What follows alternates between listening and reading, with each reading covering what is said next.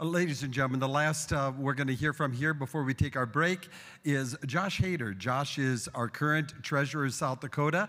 Uh, what you need to know is last year at our hour of reflection, we chose Josh to be our keynote speaker because uh, Josh just gets it. He was also named just recently as the National Treasurer Chairperson for the nation. Let's give it up. Thank you, Dale. I appreciate it. Thank you, guys. Uh, Dale said I stand between you and a break, so I do want to thank you for the one hour speaking time. I, am so excited to cover. Thank you very much. Well, again, State Treasurer Josh Haeder, it's an absolute honor to be with all of you today. And I'm honored to be here because you and I share a, same, uh, a goal in common, and that's to protect our unborn children.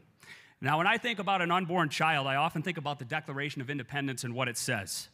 It says, We hold these truths to be self evident that all men are created equal, that we are endowed by our Creator with certain unalienable rights, that among these are life, liberty, and the pursuit of happiness. Ladies and gentlemen, when an abortion takes place, we are denying that most basic right of life to our unborn children. Now, you, and all, you all know that unborn babies can feel pain. They can suck their thumb at around 18 weeks. And furthermore, we know that science has proven beyond a shadow of a doubt that human life begins at conception. From the point of conception moving forward, that is a developing, unique, irreplaceable being. It belongs to the human family. And I just want to say that I'm very thankful to President Trump for his courage to appoint justices to the bench who uphold the Constitution. As you all know, give that a round of applause. That is worth a round of applause. Now, listen, we, we've all been applauding that Roe versus Wade has been overturned. As Jon Hansen said, that is a monumental step. That's a big deal. But as we heard from uh, Representative Hansen, that's not the final step.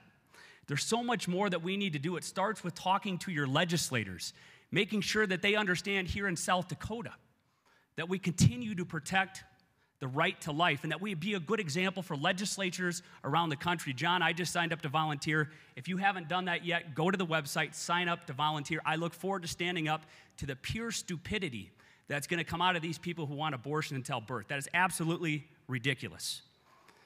Now, as someone who was born about three months early and just over two pounds, I can tell you that I am so very thankful that my parents chose life. And I want to tell you today that I'm always going to support the pro life movement. Dale, I'm always going to be with you no matter what I do with my life. And I just want to thank you all for the hard work that you put in. Now, speaking of hard work, there's so much more we have to do just this fall. We cannot take this fall's election for granted. We have to step up. We have to pray. We have to volunteer. You need to financially contribute to pro life candidates. And when you do that, ladies and gentlemen, we are going to win so big this fall and send a message to the Democrats that maybe they won't even bring that stupid petition forward.